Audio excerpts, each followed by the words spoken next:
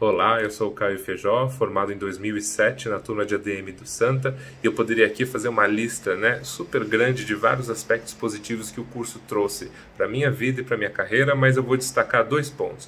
O primeiro ponto é sobre os professores. Eu tive vários professores inspiradores, não só pela bagagem teórica, mas também pela visão de mercado atualizada e também pelo encorajamento que a faculdade tinha em trabalhos de pesquisa. Né?